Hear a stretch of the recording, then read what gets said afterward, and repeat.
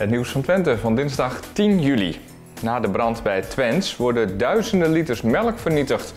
En Jeroen uit Almelo heeft dan wel een oogziekte. Hij wil zich daar niet door laten beperken. Ik probeer gewoon met al mijn uh, ervaring die ik heb, omdat ik natuurlijk zelf een uh, handicap heb, probeer het over te brengen aan die kinderen.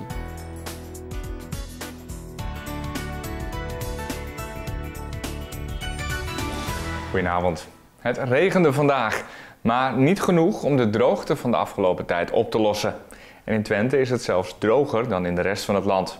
Waterschap Vechtstromen heeft een verbod ingesteld om water uit beken en sloten te halen. Via het Twente-kanaal wordt al enige tijd de maximale hoeveelheid water aangevoerd. Maar als het waterpeil van het Twente-kanaal te veel daalt, dan krijgt de scheepvaart voorrang en dan kan Vechtstromen minder of geen water meer inlaten. De brand bij Twents in Hengelo, tien dagen geleden, heeft gevolgen voor boeren in de regio. Boer Jan Mulder uit Enschede moet 57.000 liter aan verse melk vernietigen. Ook is melk die na de brand door Friesland Campina bij hem is opgehaald en is verwerkt, uit de productie gehaald. Het RIVM heeft boeren in de directe nabijheid van Twents afgeraden de koeien buiten te laten grazen. Er zit te veel dioxine in het gras. De koeien van Mulder stonden de hele week binnen en aten ook geen vervuild gras. Toch wordt zijn melk nu uit voorzorg vernietigd. Alarmcentrale 112, wil de politie brandweer van ambulance. Politie. Welke woonplaats bent u? Uh, ik rij in de buurt van de grens van Duitsland-Enschede. Politie Noordoost-Twente heeft gisteren dit filmpje online gezet van een bijzondere actie. Het gaat om beelden uit mei van dit jaar van een spookrijder op de A1 bij de Lutte. Een 86-jarige vrouw reed daar zo'n 5 kilometer tegen het verkeer in. Doordat omstanders deze vrouw en het overige verkeer waarschuwden met luid toeteren, werd een aanrijding voorkomen. De 86-jarige vrouw was totaal overstuur en geschrokken. Het gaat nu weer goed met haar, maar ze heeft wel haar auto verkocht. 11 euro en 22 cent. Dat bedrag hebben de zusjes Femke en Carlijn opgehaald op de rommelmarkt. Met het verkopen van ballonnen en fruitsalades. Het geld gaat naar revalidatiecentrum Roesing in Enschede. De twee meiden werden daar gisteren ontvangen en kregen een rondleiding als dank voor een gulle gift. Carlijn, kan jij tegen mij vertellen wat je hier doet bij Roesing? We hebben geld ingezameld en dan mochten wij nog een keer al die spelletjes doen van open dag. En geld ingezameld, heb je dat op school gedaan? Ja, met de rommelmarkt. Jeroen Hummel uit Almelo heeft vanaf zijn geboorte de ziekte van Stargardt. Zijn zicht is maar 10%. Toch wil Jeroen zo gewoon mogelijk leven. Hij wil meer zijn dan alleen maar een beperking. Hij is nu genomineerd voor de Gouden Venus van Milo. Een prijs voor de meest inspirerende Nederlander met een beperking.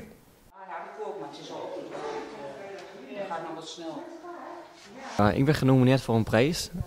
Die heet de Gouden Venus van Milo heet dat. Dat is een onderscheid voor mensen met een... Uh, ja, hoe leg ik dat uit? Um, de meest inspirerende Nederlander met een beperking. Heeft mijn leidinggevende heeft daar maar uh, ja, mijn naam voor opgegeven. Ik loop uh, stage bij PVCC, Praktijk voor Coaching en Creativiteit. Dat is ook eigenlijk een ja, stichting waarbij allerlei doelgroepen worden ondersteund. We doen heel veel projecten, doen we activiteiten.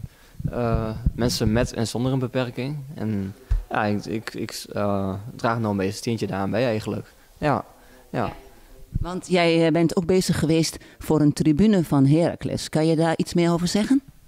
Een tribune van, ja, ze zijn momenteel bezig om een uh, blinde en slechtziende tribune op te zetten. Uh, ja, ze hebben mij benaderd, Jeroen Morman, om daar uh, over mee te praten eigenlijk. Ik heb natuurlijk zelf een, een oogaandoening. Dus ja, we ze wel een beetje zien hoe ik daarin in sta. Ja, ja. Dat is toch heel erg mooi dat je daaraan kan bijdragen. En hier loop jij stage. En de doelgroepen waar jij mee bezig bent, welke mensen zijn dat? Um, het zijn voornamelijk uh, jongeren die met en zonder een beperking. Ja, ja. En, ga je daar allerlei activiteiten mee ondernemen? Of wat is, wat is daar de bedoeling van? Wat precies mijn rol daarin is, is nog een beetje zoekend op dit moment. We zijn net bezig, maar ik probeer gewoon met al mijn ervaring die ik heb, omdat ik natuurlijk zelf een uh, handicap heb, probeer het over te brengen aan die kinderen of aan de jongeren. Mijn naam is Wendy Leerkotter. Ik ben projectleider bij Inloop aan de A namens uh, Thuisteam Twente en de praktijk voor coaching en creativiteit. Uh, Jeroen is, die loopt stage bij mij. een hele leuke, vrolijke, optimistische en spontane jonge man. Met een beperking in zijn ogen. Hij ziet maar 10%. Elke dag optimistisch. Hij is er voor de mensen. Fantastische hulp voor mij. En ik ben super blij met zijn hulp. Dus we gaan zo door, Jeroen. Dankjewel. Ja. En er zijn meer streekgenoten genomineerd voor de Gouden Venus van Milo, zoals Bert Hassink uit Enschede. Eind september wordt de winnaar bekend en hij of zij krijgt 10.000 euro. Na de gemeenteraadsverkiezingen van maart dit jaar gaan overal in de regio nieuwe wethouders aan de slag. In Enschede mag de PvdA de komende vier jaar weer meedoen in de coalitie. Arjan Kampman wordt namens die partij wethouder. Een wethouder van het volk wil hij zijn. Open en benaderbaar. Nou Arjan, eh, we zijn hier eh, bij Richtersbleek, jouw club. Mag ik toch wel zeggen? Ja, dat mag je, mag je zeker zeggen, ja. Maar je bent hier voorzitter. Nog.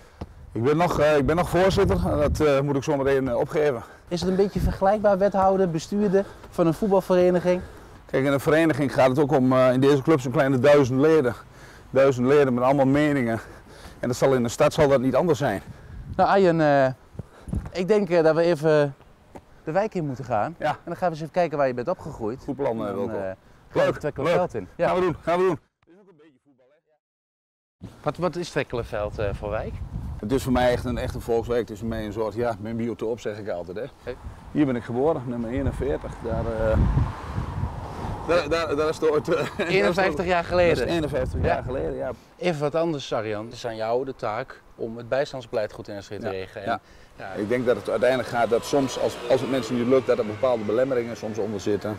eh, andere zaken onder zitten. Nou, de kunst is om dat soort zaken proberen weg te nemen. Ja. En mensen mee te nemen, zeg maar, langzamerhand toch eh, richting, eh, richting een baan. En ook dat is niet eenvoudig, ook dat is gewoon knetterhard werken. En als we al die moeilijke woorden, transformatie, sociaal domein, in Ja. één zin of twee zinnen moeten samenvatten, hoe zie je dan jouw taak op dat gebied? Nou, mijn taak is denk ik eh, om eh, proberen zeg maar, al die ingewikkelde dingen die er gebeuren, die te maken met ondersteuning van de inwoners van Enschede, om die op zo'n soepele manier te organiseren. En het maakt niet uit waar het om gaat, dat de inwoner denkt van wauw, dat doen ze in Enschede fantastisch. Ik voel me echt ondersteund, ik voel me gezien en als ik gewoon een setje in de rug nodig heb, dan krijg ik dat ook in deze stad. Volgens mij is dat simpel samengevat. En tot zover het Twentse nieuws voor vandaag. Zometeen een nieuwe aflevering van Van Eigen Bodem. En nu is het weer. Ik wens u nog een fijne avond.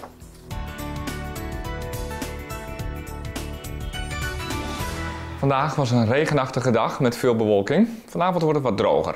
Komende nacht koelt het af naar zo'n 13 graden. Morgen opnieuw regen en vanaf donderdag is het droog. De bewolking trekt dan weg en de zon breekt door. De temperatuur gaat naar de 26 graden de rest van deze week. En vanaf zondag wordt het nog warmer.